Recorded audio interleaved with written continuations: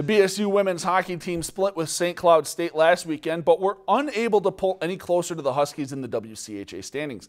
But the good news is the Beavers still have one more chance to move into fifth place. Sitting four points back of fifth, BSU will need some help from Minnesota Duluth and North Dakota, but they know they still need to take care of their own business. It really is up to us. I mean, all we have to do is take care of our business, and hopefully the other teams take care of theirs too, and hopefully it all works out as we hope. Big focus for us is going to be on Friday night. There's we can't do anything about those other series. We, you know, we're we're at home, which is is tremendous.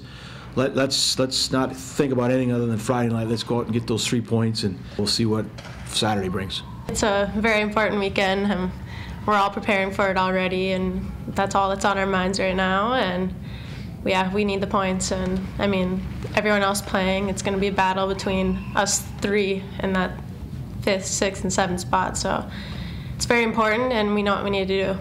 If you've enjoyed this segment of Lakeland News, please consider making a tax-deductible contribution to Lakeland Public Television.